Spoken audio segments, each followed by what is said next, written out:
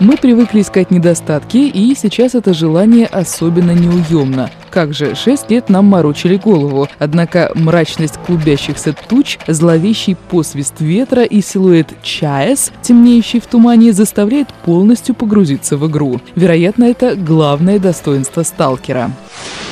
Зона не прощает ошибок. Одно неверное движение, переоцененные силы, незамеченный мутант и снова game over на весь экран. Прежде чем проходить игру, стоит научиться в ней выживать. Интересное дело, в обыкновенном, по сути, шутере прокачку героя ощущаешь сильнее, чем в какой-нибудь CRPG. Наверное, потому что опыта набираешься сам, а не заполняешь абстрактную полоску до следующей зарубки. Вначале боишься каждой аномалии и стаи собак, патронов для пистолета вечно не хватает, а стычка с бандитами на открытом пространстве чревата серьезными последствиями. Через несколько часов в руках появляется квестовый АК-74 с повышенной скорострельностью. На теле приличная броня, а пояс увешан артефактами. Мы уже не слушаем отчаянно пищащие ПДА, уверенно обходим завихрение пространства, а с собаками играючи расправляемся одним ножом.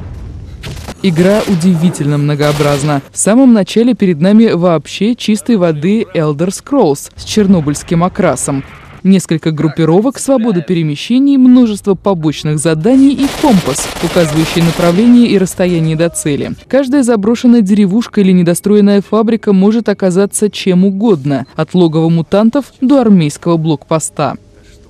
И главное, о чем так долго рассказывали разработчики, эта система не застыла раз и навсегда, она находится в постоянном движении. На всех 30 квадратных километрах ежеминутно происходят маленькие трагедии. Сталкеры ищут артефакты и выполняют задания, бандиты нападают на их лагеря, солдаты устраивают зачистки, звери пожирают друг друга и невезучих путников, аномалии появляются и исчезают, группировки ведут нескончаемую войну. Даже сюжетные NPC защищены лишь до тех пор, пока не выдадут нужную информацию. После разговора неумолимые законы зоны вступают в силу, и события развиваются уже не по сценарию. Даже после загрузки последнего сохранения невозможно предсказать, произойдет ли все в той же последовательности.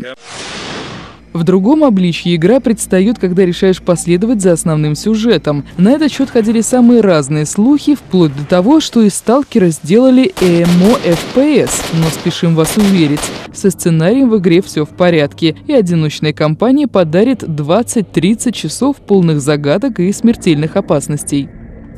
В грузовик, вывозящий трупы из зоны, во время грозы попадает молния, и тела разбрасывает вокруг вместе с обломками. Наткнувшийся на место аварии сталкер обнаруживает, что один из пассажиров еще жив и оттаскивает везунчика к знакомому торговцу. Никаких воспоминаний, никаких зацепок, только ПДА с единственным заданием убить стрелка и татуировка «Сталкер» на предплечье. Сплошные вопросы, а ответы придется хорошенько поискать, и лишь в одной из нескольких возможных концовок узнать истину истинную подоплеку событий. Сюжетные ролики, проигрываемые по завершении каждого из ключевых этапов, впечатляют с технической точки зрения, но довольно-таки непонятны и запутывают еще сильнее. Психотропные излучения, заговоры спецслужб, собираемые нами по кусочкам головоломки, всему найдется место.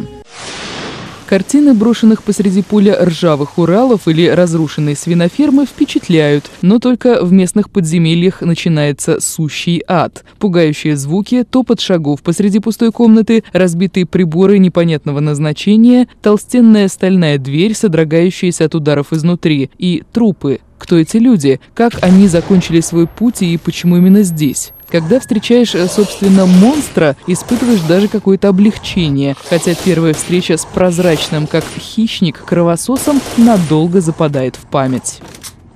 На открытых же пространствах и в городских условиях бои и сама игра преображаются как по волшебству. Компьютерные соперники так же, как мы, полагаются на зрение и слух, переговариваются между собой, не лезут на рожон и разбегаются от прилетевшей под ноги гранаты. Если их больше, стараются окружить, умело используя укрытие. Проигрывая, прячутся, чтобы потом засадить очередь в подошедшего поближе беспечного игрока. Обстановка при этом ежесекундно меняется и придает сражениям освежающую непредсказуемость. Качество моделей людей, особенно мутантов, не всегда дотягивает до современных мерок. Впрочем, в горячке боя на это не обращаешь внимания, да и выдумки дизайнерам не откажешь. И пускай обитатели зоны не красавцы, зато все 18 огромных уровней созданы с таким тщанием и вниманием к мелочам, что иллюзия пребывания по ту сторону монитора не оставляет ни на минуту.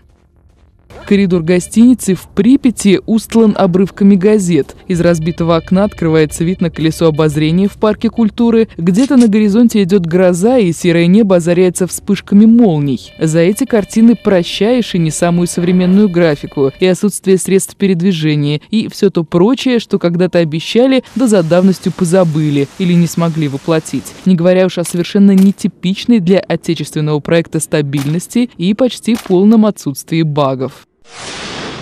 Сказка со счастливым концом, игра-загадка, игра-исследования, содержащая более инноваций, чем все FPS за последние пару-тройку лет. Выход «Сталкер» — веха не только потому, что он наконец-то состоялся, это настоящий рубеж, делящий историю жанра компьютерных игр вообще на «до» и «после».